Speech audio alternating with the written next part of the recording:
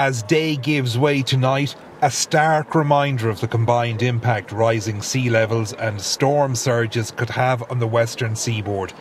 These lights will illuminate at night time high tide on the Corrib for the next six months. It's quite visceral. Um, I suppose, firstly, it, it, it, sort of shows the beauty of the building and the heritage here.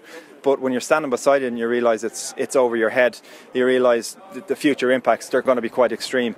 Based on data from the Intergovernmental Panel on Climate Change and local monitoring of recent floods, the line of light projects what the situation might be like in 2150.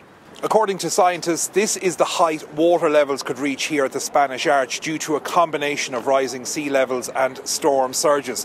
They're hoping that this light indicator will help drive efforts to mitigate against the impact of climate change. It allows us to take that data and to be able to kind of present that in a more tangible way so that rather than people just looking at the, the facts, the figures, that they can come down here, they, we can really get a sense of what that sea level means for them and their local community.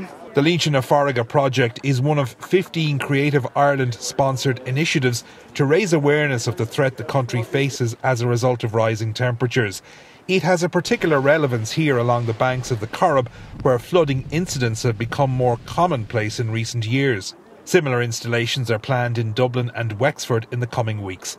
Pat McGrath, RTE News, Galway.